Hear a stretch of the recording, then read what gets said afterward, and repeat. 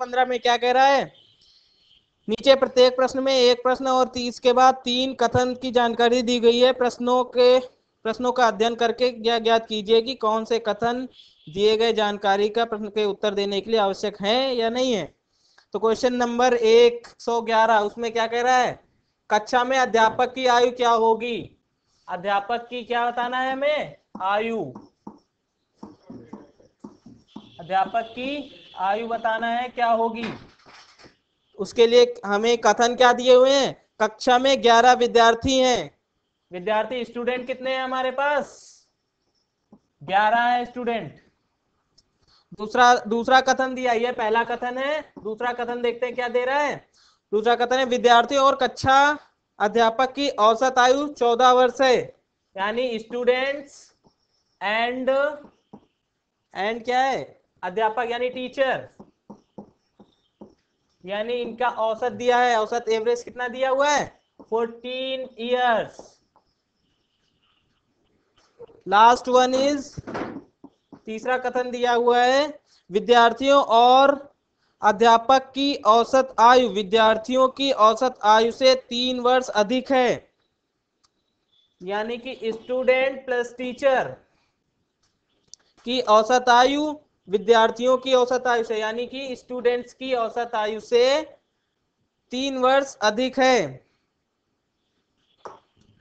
ये तीनों डेटा दिए हैं। इन तीनों डेटा से हम सॉल्व आउट करते हैं तो क्या होगा? ग्यारह स्टूडेंट दिए हुए हैं और एक टीचर दिया हुआ है। तो ग्यारह प्लस वन ठीक है टोटल बारह स्टूडेंट हो गए।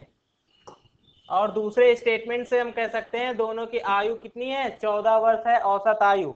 तो मल्टीप्लाई कर देंगे तो दोनों की टोटल आयु कितनी आ जाएगी? एक सौ अड़सठ। अब जो है स्टूडेंट्स की आयु दी हुई है। स्टूडेंट्स हमारे कितने दिए हुए हैं? स्टूडेंट्स की संख्या ग्यारह दी हुई है। और स्टूडेंट्स का जो है एवरेज अगर सिर्फ़ केवल स्टूडेंट्स का एवरेज निकाल लें तो आ सकता है वैल्यू टोटल स्टूडेंट्स की